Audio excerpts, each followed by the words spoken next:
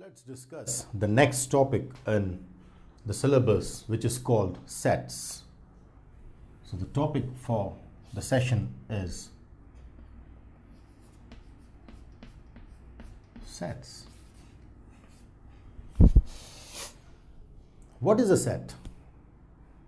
We have discussed about different sets. The word set has been most commonly used in mathematics in many of the topics. But what is a set?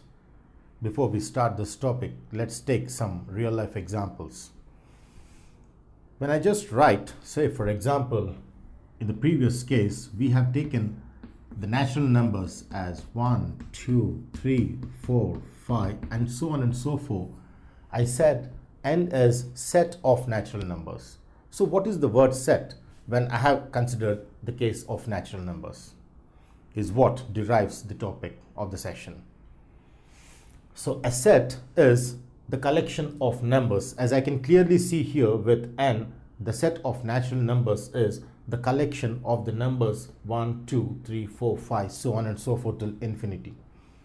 So I understand that if I collect some objects and put that in this symbol form then the flower brackets which we call them as flower brackets then that forms a set.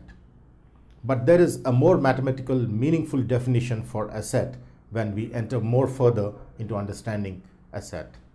So let's see what are the two restrictions which limit the defining of a set. So firstly, when I go with the definition, my first limitation is that all the elements or objects considered must be related to each other. So they must be related to each other. Say for example, I take a geometric box. When I take the mathematical geometry box, and I include a compass, a protractor, as a ruler, an eraser. That's it. So these are the things which form a well-defined collection because all the elements are related to each other when I just have a geometric box. Even a pencil can be inside the geometry box. But when I include a watch inside the geometry box, then I don't say that that the, the watch is related to the geometry box is how I understand the first limitation. For example, when I take the geometry box, instrumental box, then I have a pen, a pencil, an eraser, a compass, ruler, protractor.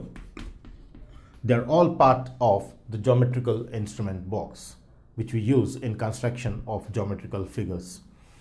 So these are related to each other. So when they are written in set form, definitely form a well-defined collection of objects. Therefore, the first property which defines that the elements or objects which are considered must be related are very much related here. But say for example, if I include a wristwatch into this may not form a well-defined collection of objects because a wristwatch inside the geometry box may not be a good idea because that they are very different and not related to each other. If we understand in the sense of geometrical instruments, a wristwatch is nowhere related to the geometrical instruments. Hence, inclusion of wristwatch inside the set of all these objects may not form a set but excluding, excluding this, these objects or elements might form a set. So this makes us clear understanding on the objects considered must be related to each other. Secondly,